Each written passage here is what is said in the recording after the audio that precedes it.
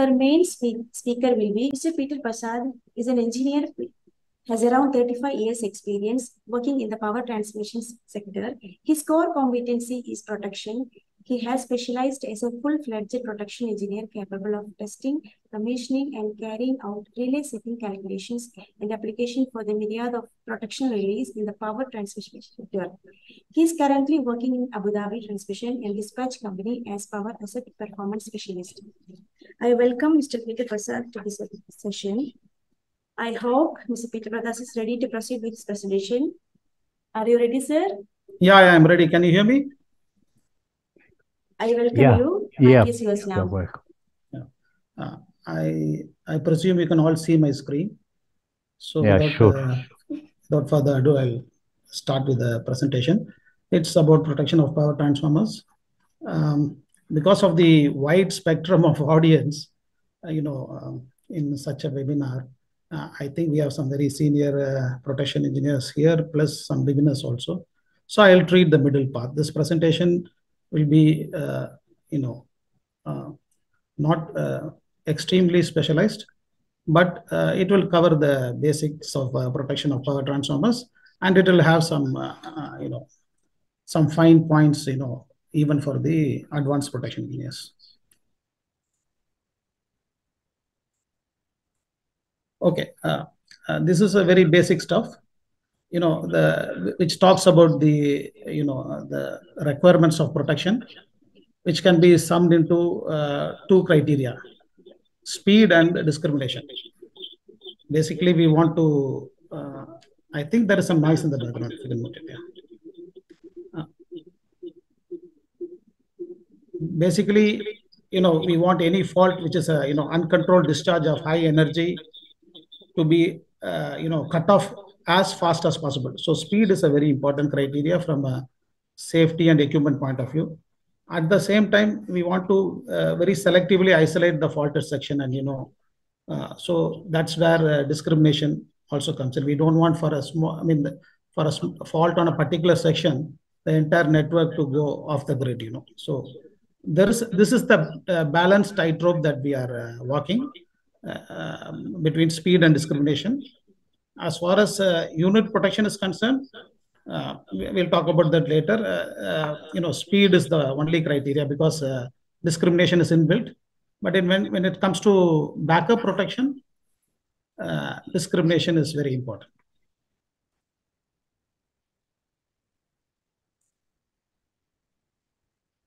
Okay, uh, the types of faults, I mean, will be, uh, the outlines will be the types of faults, some uh, simplified protection logic diagram, basic principles of transformer differential protection, uh, transformer overflux protection, restricted earth fault protection, and then the, uh, the transformer overcurrent and earth fault backup protection. Then we'll talk a little bit of uh, transformer overloading capabilities and a little bit on auto transformer principles. So within this, the differential protection and the restricted fault protection and the overflux protection are uh, basically, you know, transformer differential and restricted fault protection are unit protections. They only protect the protection zone and there is no need to worry about this discrimination. Overflux protection is for the, you know, overfluxing, to prevent overfluxing of the transformer. As far as overcurrent and uh, the fault protections are concerned, they are the backup protection and that's where uh, discrimination comes in. This is also basics of the types of faults are uh, classified as three phase faults, phase-to-phase faults, phase-to-earth faults, and phase-to-phase faults, in, including earth faults. Three phase faults, including earth, is basically considered as three phase faults. Uh, we, the three phase fault is important from the point of view of the transformer because this is the worst case and the most onerous condition uh, that a transformer can face. You know, if you're talking about external short circuits, as far as a transformer is concerned, a three-phase short circuit on the HV or LV bushings is the worst case scenario. You know, all other faults are uh, not as severe. So when you when you're talking about um short circuit withstand capacity of the transformer, we are talking about a three-phase uh, short circuit on the bushing as the most uh, onerous condition. And if the transformer can withstand that, uh, you know, all other downstream faults which includes greater impedance, earth faults, uh, the transformer should be able to withstand.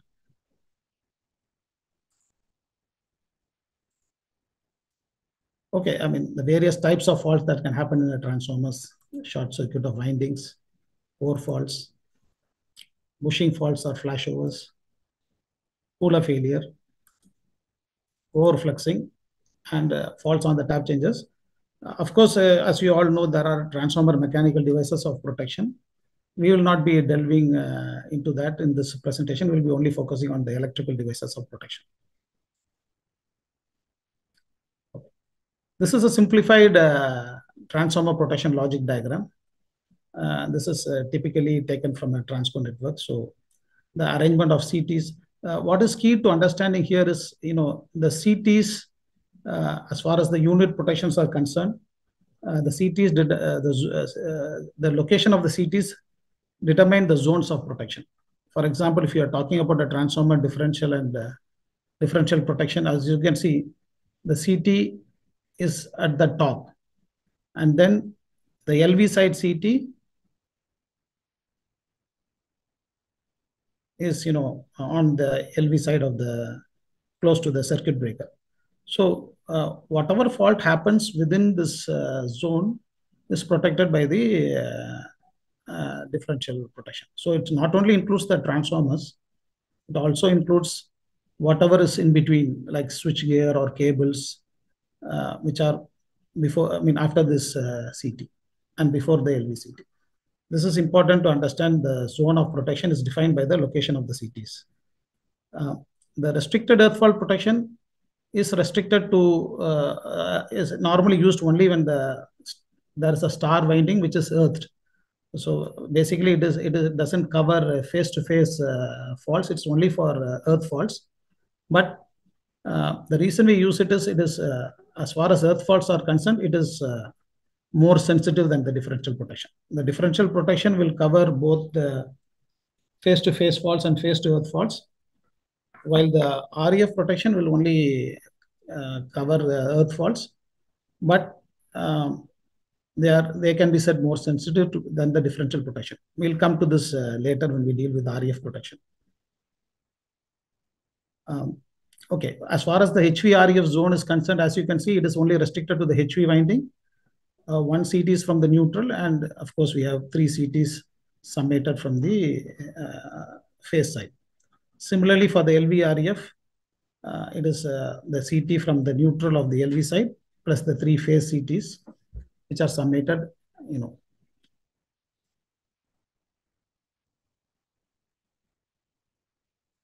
Of course, the overcurrent and uh, uh, the LV overcurrent, HV overcurrent, other air fault relays have, you know, don't have, uh, they don't summate any CTs.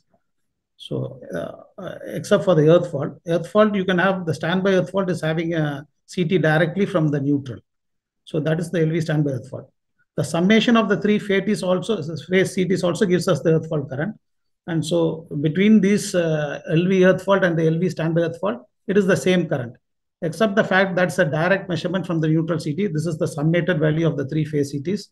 So, uh, you know, if you want to make a hair splitting difference, uh, three CT errors uh, are in the picture, whereas for LV standby fault is just one CT, but it's basically the same current.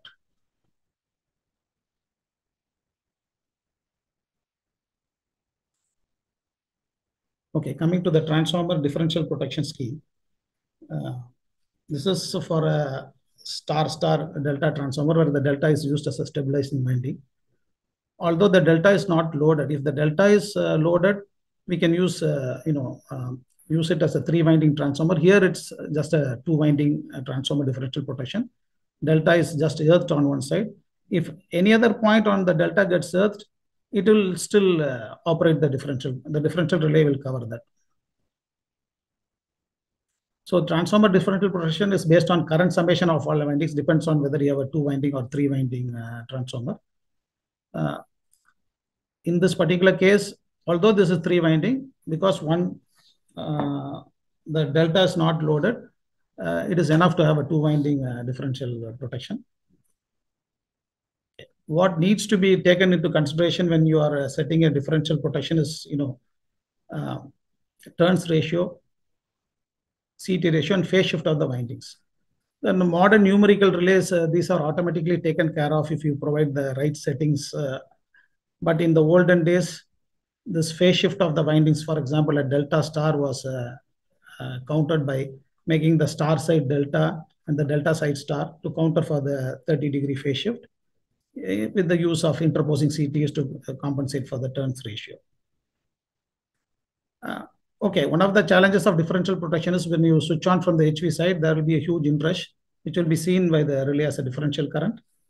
And there are many techniques, I think, uh, used in the past uh, to counter this phenomena, including uh, providing a time delay.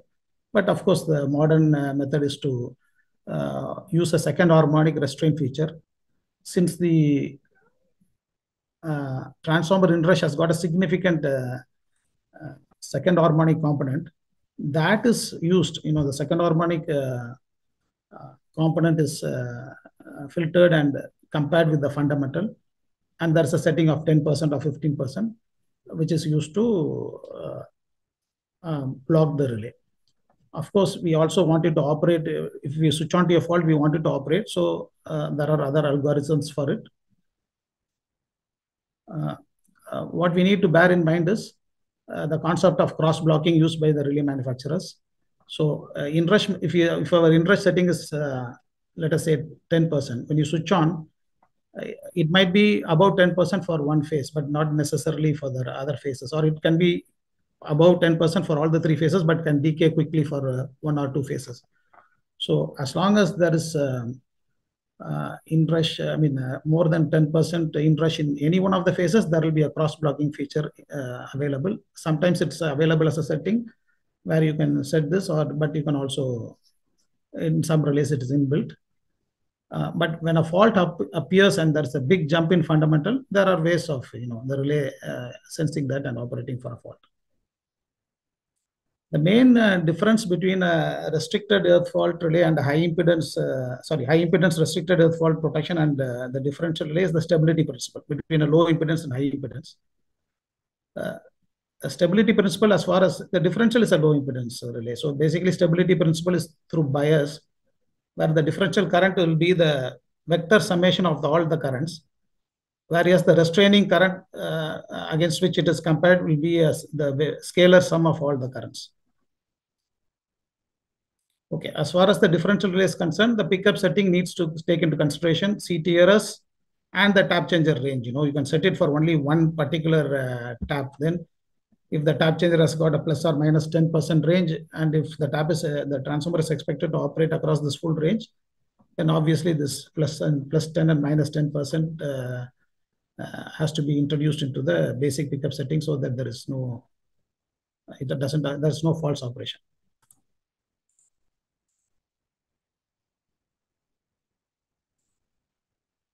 Okay, this is just the bias principle. As you can see, you have the uh, uh, vector sum on the y-axis and the scalar sum on the uh, x-axis. And you can have different slopes. You know, basically, as the through fault current increases, uh, the idea of uh, having different slopes is as the through fault current increases, we tend to increase the slope setting, so there is a greater bias.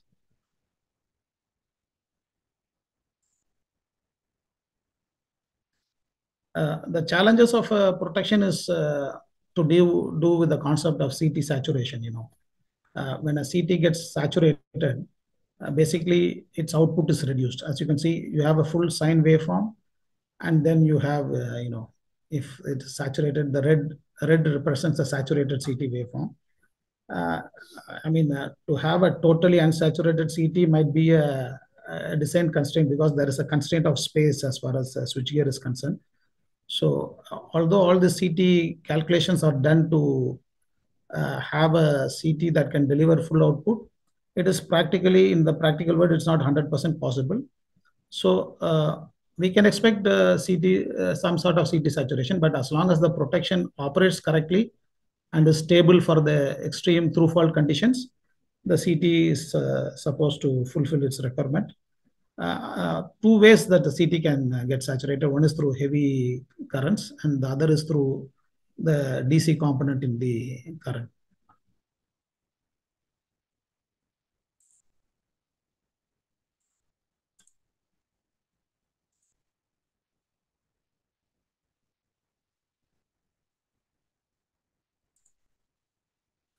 Okay, uh, some points on uh, transformer differential testing.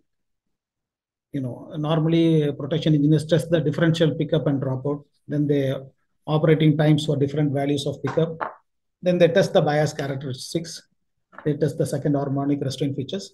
The fifth harmonic restraint feature is basically the fifth harmonic. The overflux condition is uh, uh, is uh, characterized by uh, high fifth harmonic content, content. We don't want the differential relay to operate for it because the over, there is separate overflux protection to cover the overflux.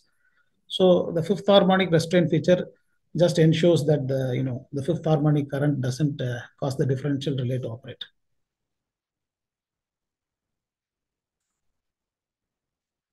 Overflux protection principle is just you know voltage by it's the relay senses voltage by frequency, and uh, based on uh, the settings, uh, it can either give an alarm or issue a trip signal. Uh, it depends on you know the philosophy, protection philosophy of utilities whether they use it for alarm or trip or disable the overflux protection. As you can see, uh, this is this has to be coordinated with the actual transformer uh, overflux curve.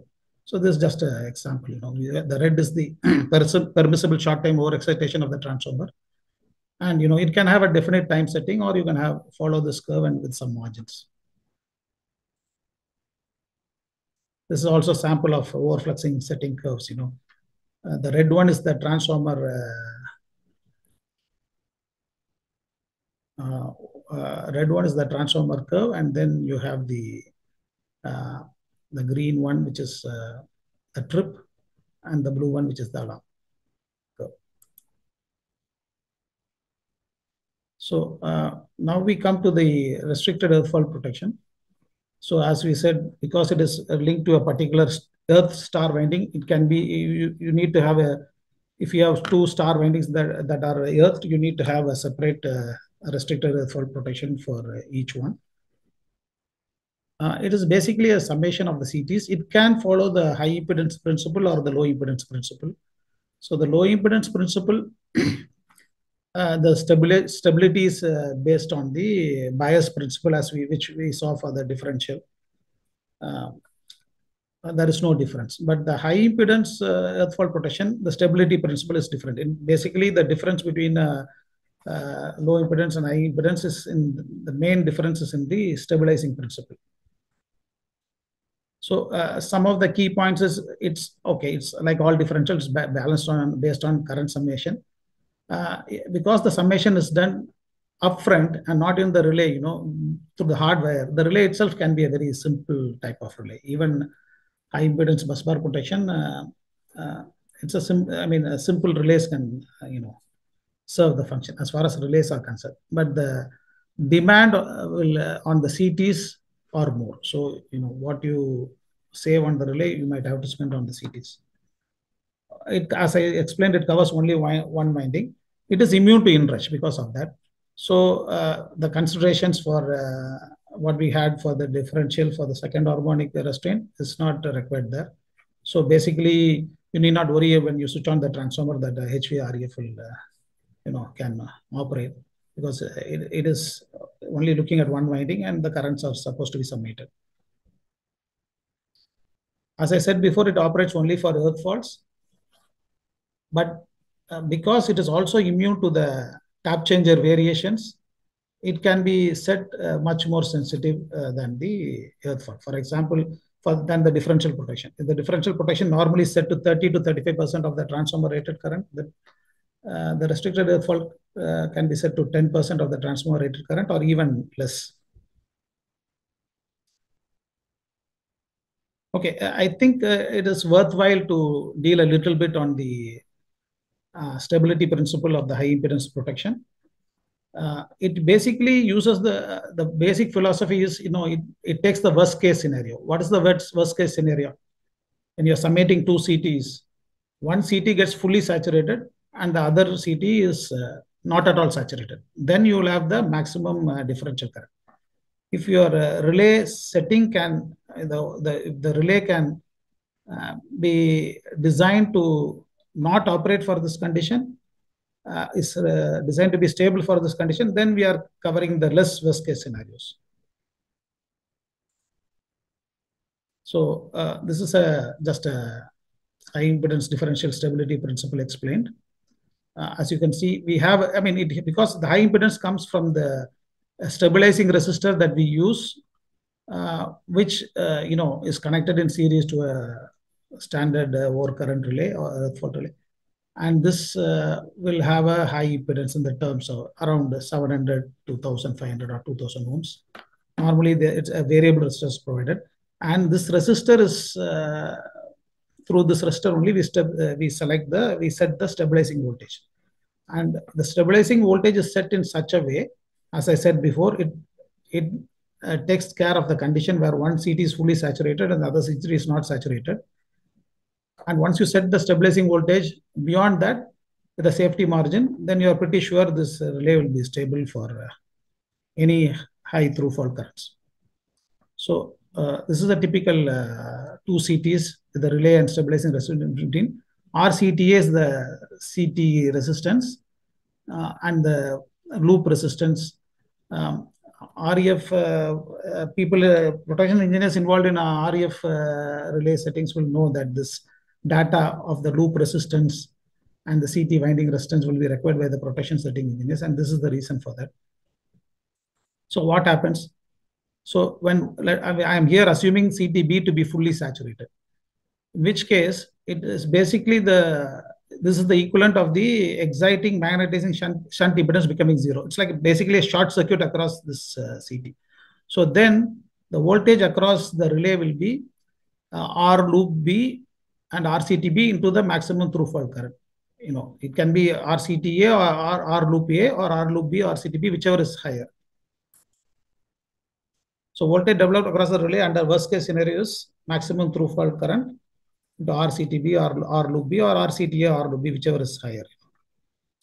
But uh, as long as this relay remains stable for this condition, if the voltage setting is uh, stable for this condition, set higher than this value, then we are safe.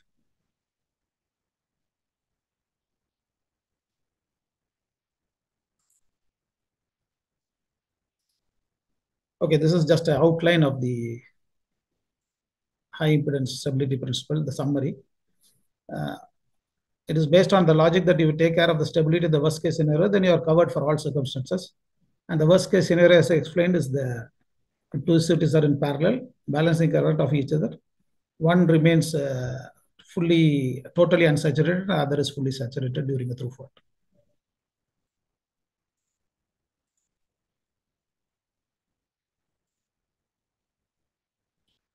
This is uh, the transformer LV-RF scheme uh, applied on the LV winding. You have three phase CTs and the neutral CTs. They are all summated together. Uh, for the high impedance, uh, another important point to remember is all the CTs should be, because we are doing the summation outside, all the CTs have to be uh, the same CT ratio. You know. And because of the stringent requirements, preferably class x although there are cases where we have uh, we can use uh, 5p20 cts also uh, as long as you are careful about the setting voltage. But class x is the one with 0.25 percent error so you can maximum sensitivity in setting can be achieved with class x. But it is very important that uh, the cts are uh, uh, having the same ct ratio. This is not required for the low impedance schemes where you know within the relay the different ct ratios can be adjusted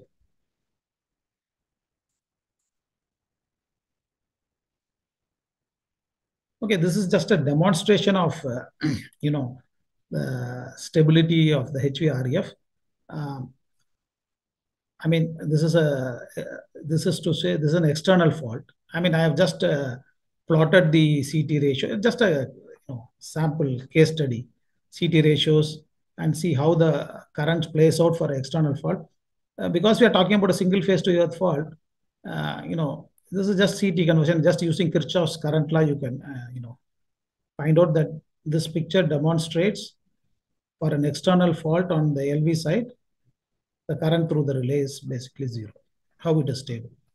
This is important. I mean, if you get your polarities wrong or, you know, then this can create a problem. But uh, once you ensure everything is uh, correct, this should be the actual scenario for a through phase fault. HVRF, this is uh, for a fault on the HV side. again, this uh, is a, you know, just to show how it plays out, how the currents get, uh, you know, circulate uh, within the protection and how the relay sees just uh, zero current. Okay. This is for actual in-phase fault. Here the scenario changes. Uh, it's a fault on the HV side. And as you can see, the relay will see a current. This exercise can be done by anybody, you know, just using Kirchhoff's law and basic understanding of uh, the circuitry, this can be plotted out. Okay, this is to, for, uh, for the LVREF protection. Uh, external fault, how the relay is stable. And a demonstration for a in-zone fault, how the relay sees the current.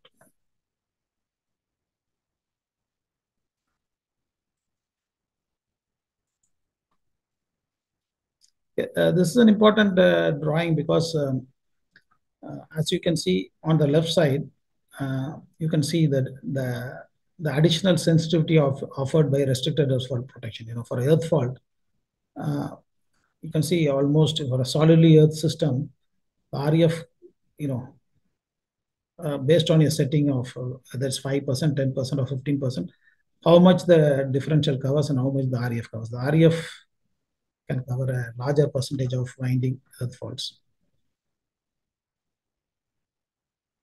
And this, uh, the right side picture shows us that, you know, as, as we move towards the neutral, is the earth on the neutral of the winding, actually there is a large current, you know. This picture demonstrates that. I mean, it, uh, percentage of winding from neutral at which earth fault occurs, it goes up, then there is a slowly drop down. And then as you approach towards the neutral, then the fault current goes up. And this is important to remember because the tap changer normally for a star winding is uh, located on the neutral side, you know. So uh, um, the REF can, you know, pick that up, you know.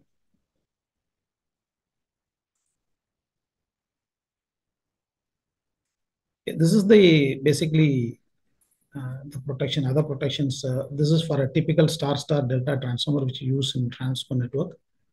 As you can see, the HV standby earth fault it, it's just, uh, you know, the relay is fed from a neutral CT on the HV side. Um, because, uh, you know, in this, because of the influence of the delta, there is not a, you know, turns ratio correspondence between the earth fault current on the LV side and HV side. So basically the HV standby earth fault is uh, backup protection for the transformer uh, winding earth fault. And uh, it is set in such a way that it doesn't see fault on the LV side nor respond to your fault on the earth fault on the HV side. The LV standby earth fault is connected from a CT directly to the relay, LV side neutral CT. And this will grade with the uh, LV earth fault protection. Uh, as I said before, the differential will cover a fault on the tertiary but uh, we can also have, you know, because it's uh, the tertiary delta is uh, earthed, it's not kept floating earth, uh, we can have introduce a CT there and have earth fault protection there. It's kind of unit protection only. Okay. Uh, now we are coming to the principles of backup protection grading. so backup protection is basically, you know, when the protection that is supposed to operate first doesn't operate, doesn't mean we keep the fault, uh, you know, uh, being continuously fed. We need to the backup protections to operate and uh, trip downstream or upstream uh, to clear the fault by all means. The but when when you're talking about backup protection, of course, as I said in the, in the beginning, uh, there is of course we are compromising on speed uh, to ensure discrimination, but we also need to bear in mind I mean, backup protection is kind of in, you know, there is a backup protection for a main protection, and then there's a backup of a backup. At the end of the day, we need to ensure that the fault is uh, cleared as far as a transformer is concerned before the maximum through fault withstand, uh, uh, you know, time of the transformer, because uh, otherwise we, there is the risk of the transformer failing. So normally a transformer maximum uh, through fault withstand uh, is uh, two seconds, which means you know a, a short circuit at its bushings, it can withstand up to two seconds. This is a, um, a theoretical value, but we ensure that before this two second, uh, the backup protections clear the fault, any through fault. So uh, HV uh, will grade with the LV overcurrent. This is a straightforward issue because as far as overcurrent is concerned, the phase currents are concerned, there is a direct turns ratio correspondence. But uh, because the earth fault, we cannot grade the earth fault LV with the HV SBF because there is no turns ratio correspondence uh, because of the role played by the delta. Hence, uh, the LV earth fault always uh, has to grade with the LV standby earth fault. Although both see the same current, as I said before, the only difference is the LV standby earth fault also trips the HV side, uh, whereas the LVF fault trips the LV breaker.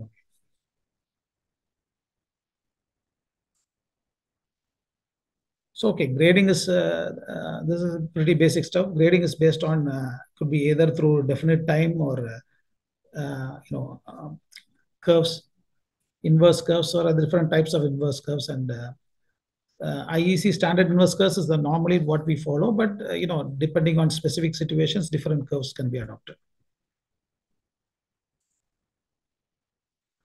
This is again, you know, just to ensure, you know, how, I mean, I'm talking about just uh, two transformers in parallel feeding a distribution uh, network.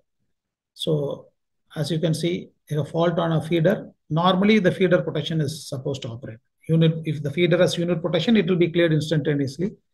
If there is no unit protection and the, I mean, if the unit protection fails and there is a backup protection, let us assume it is uh, cleared in 700 milliseconds. But if the feeder fails to operate, then we expect the bus section uh, to open first to prevent you know the transformer on the uh, right side not to feed the fault you know because this is on this side of the section. But we also need the transformer to open because that's through through the transformer only the fault current is being fed. So this is the grading. Normally for numerical relays 250 millisecond grading margin is adopted. These days even 200 millisecond seems to be okay whereas if you have static relays 300 or 400 milliseconds uh, grading margin is required so, okay, then as you see, if uh, feeder protection fails, then you need to open the bus section and the LV incomer. And if that fails to operate, then uh, the next step is the HV breaker, another 300 millisecond margin. And if that breaker fails, then the circuit breaker fail operation will, you know, clear this. So we ensure that it's all within two seconds at the end of the day because backup protection is basically to prevent equipment damage. You know. So, okay, this is a, a, you know, max, I mean, this is a typical uh, old transformer that has failed after feeding many short circuits in its life. It gave up its go. So this is the electromechanical forces as this is what can, uh, it can end up as, you know. But this is a very extreme scenario.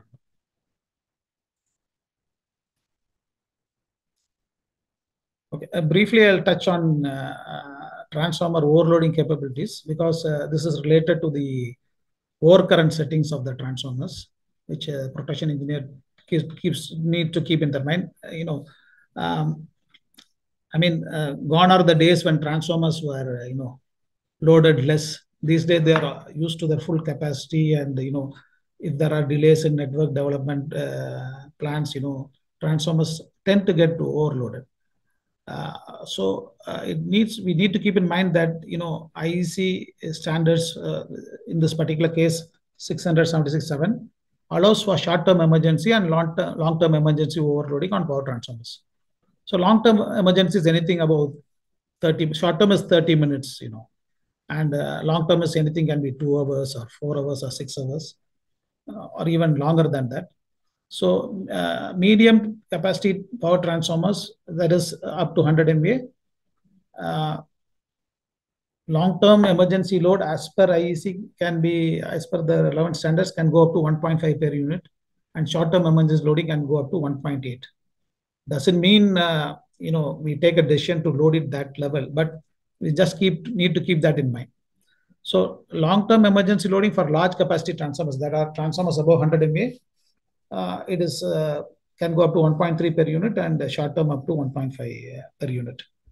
So uh, whatever uh, you know, based on the uh, the asset uh, department decides to fix as the overloading capabilities of the transformer, because this uh, this information goes to the LDC also, how much they can overload this transformer under under contingency scenarios, and for how long. So based on that, uh, the transformer HV, MV, and LV, LV provided it's also loaded, uh, needs to be set, you know, with the 20% margin, uh, preferably, or at least 10% margin. Uh, having said that, uh, we are not talking about mechanical de devices of protection here, but if there is any long-term emergency loading, we need to know which hotspot criteria has been used to calculate that. It could be 130 if people are conservative or 140 or even 150. So based on that, you also need to review oil and winding temperature alarm and trip settings. Because uh, if it is uh, 130, then maybe the 125 setting of the winding temperature trip needs to be increased, you know. So this, this is for the long term. Short term, half an hour, this should not be a concern because the oil time constant is uh, greater than that. What we need to bear in mind is overcurrent settings are not uh, overload settings, you know, meant for protection against faults and ideally not meant for thermal overload protection. For thermal overload only, we have this thermal replica and this oil and winding temperature gauges, which should do the job better than the using the overcurrent as a overload setting. What we want is the overcurrent protection not to trip during a overload condition because that will be you know exacerbating the situation. When the network needs uh, you know is uh, you know under contingency, we don't want any unnecessary tripping. Finally, close with a bit on the principle of auto transformer. Uh, uh, you know, we know auto transformers are uh, used, uh, you know, to save some money on copper, basically. So uh, the the principle is, as you can see, is illustrated here. If you see, if I have a two winding, okay, I'm just assuming 100 by you know 50 volt. So 1 amps, it is 2 amps here. But if you see auto transformer, when you tap it here, as you can see, the winding is can be designed for 1 amps. No need for half of the winding to be you know designed for 2 amps. So this is simple principle to illustrate you know how we are saving uh, money on copper when you uh, you know when we go for auto transformer. But this uh, savings in copper is only uh, theoretically valid up to the ratio 1 is to 3. So if you're talking about a 400 bar uh, 220 kV transformer, you can go for auto auto. Uh, you can go for an as an auto transformer. Even for a 400 bar 132, it can be an auto transformer. But beyond that, uh, the the you don't save much money, and the disadvantages are then uh, greater. Uh, the main disadvantage of auto transformer is that the primary and secondary windings are not galvanically separated. And also uh, the tap changer is not on the neutral side you know it's after the after the common winding. So you need a maybe instead of a m type an r type r type of tap changer which is a little more complex. Uh, that is basically to talk about the principle of auto transformer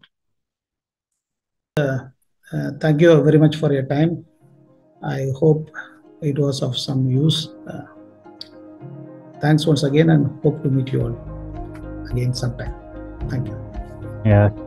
Thank you all for your participation. Thank you, Mr. Peter.